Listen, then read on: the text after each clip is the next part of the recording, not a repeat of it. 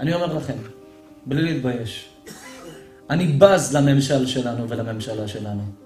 אני בז לגועל נפש ולחוסר צדק שיש כאן. אני לא יודע אם אתם יודעים. יש מאה וקצת אלף ניצולי שואה שחיים בארץ ישראל. אני לא יודע אם אתם עוד יודעים נתון, 26 אלף עולים אוקראינים עלו בחודש האחרון בישראל. אני לא יודע עוד נתון שאולי אתם יודעים או לא יודעים, אבל האוקראינים שעלו לארץ הם אוקראינים, רובם גויים. אותם אוקראינים גויים הם נכדים של אותם צוררים אוקראינים נאצים שרצחו בין מיליון וחצי לשתיים נקודה תשע מיליון יהודים. ואתם יודעים מה כואב לי? כואב לי שהנכדים של הנאצים מקבלים סלי קליטה, מזון, תרופות, דירות, בתים.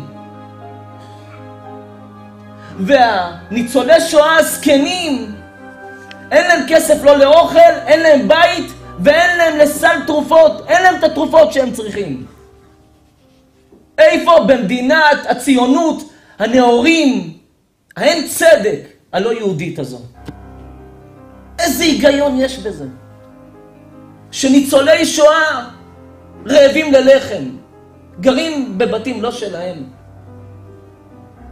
והנכדים של מי שעשו להם שואה, מגיעים פה למדינה הזו שאליה פיללנו להגיע, ומקבלים דירות, והלוואות, ורכבים, וסלים, ושולחים להם שם תרופות למלחמות.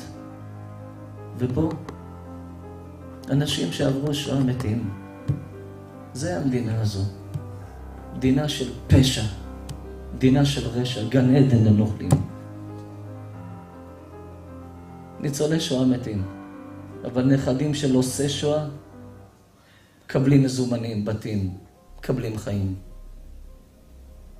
חיילים שירתו פה, מתו בשביל המדינה, בשביל העם הזה.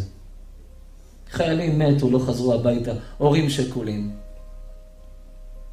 חיילים, יושב פה, הנה שלומי העורך שלי. היה במלחמות בעזה, בלבנון. קבר חיילים. אין לו בית משלו. הוא צריך עזרה קטנה עם מי שיעזור לו במדינה הזו. אבל אוקראיני שסבא שלו עשה שואה, עולה לישראל, מתקבל באהבה, באהדה, עם דירות במתנה, וכסף לעזרה, והלוואות בלי ריבית, עם תשלומים לארבע מאות שנה.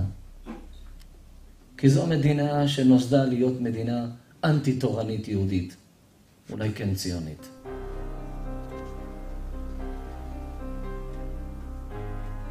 קהל קדוש, אני מכין שיעור פצצה ליום העצמאות.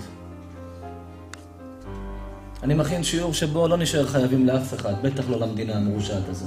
הייתה אמורה להיות יהודית, הפכה אותה לבדואית. יש הבדל בין ארץ למדינה, ארץ ישראל קודש. המדינה הזאת, תראה מי שולט עליה מאז שהיא נוסדה עד יום הזה. תבין איפה אתה חי. בהמשך של מיינקאמפ, היטלר ימח שמו. אני הולך להכין שיעור פצצה ליום העצמאות. כדי שאולי אנשים יתעוררו קצת להבין מה מטרת המדינה, שלצערי כבר כמעט הושגה. איך אני יודע? אני רואה איך אבא של מאיר, סבא של מאיר, סבא של אלירן, איך הסבא שלהם היו נראים לפני שעלו לכאן או עלו לכאן, ואיך נראים הנכדים שלהם היום כאן. אז אני מבין מה הייתה המדירה של המדינה הזאת כאן. שהיום ללמד ילד בבית ספר תורה זו הדתה. להניח תפילין מחוץ לבית ספר זו הסתה ליהדות. אבל לתת להם דיסק לנצרות של ישו הכלב זה לגיטימי, לגיטימי מאוד. ולכאן גולדים הילדים שלנו, להיות לא יהודים. המשך של השואה הארורה, רק במדינה אחרת בלי שרפות. לשרוף את הנשמה. דבר אחד לא מלמדים ילדים. אם הילדים הקטנים היו לומדים אמונה, לא משנה איפה היו נופלים, מגיעים, באיזה ניסיון מתנסים. היו נשארים עמידים. אבל מה קורה לילדים היום? ניסיון קטן, ישר פשע. ניסיון קטן, ישר סמים. ניסיון קטן, ישר אלימות. ניסיון קטן, ישר מתנקם. ניסיון קטן, ישר דוקר. ניסיון קטן, ישר מתאבד. ניסיון קטן, אבוד. למה? אין אמונה. לא לימדו אמונה. אנשי אמונה, עבדו.